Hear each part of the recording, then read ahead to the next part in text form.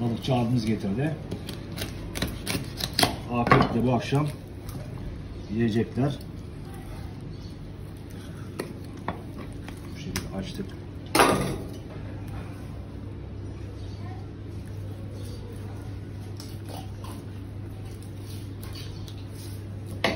Evet, kefal balımız da temiz çıktı. Şener tertemiz. İçinde bağırsakları çamur atmadı bağırsaklarından.